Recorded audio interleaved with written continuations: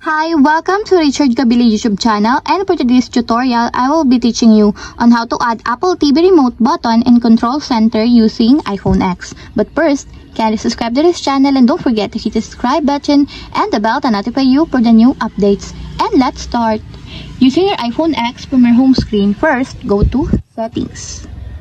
Then in the settings, scroll down and find the control center, then tap then after that, in the control center, scroll down and go to more controls, then find the Apple TV remote. And as you will see, there's a positive sign located on the side of the Apple TV remote. Then all you have to do is just tap the positive sign until it appears on the included controls. And if you want to check it, if the Apple TV remote is already in your control center notification, just drag down and as you will see that the Apple TV remote button is already on your control center.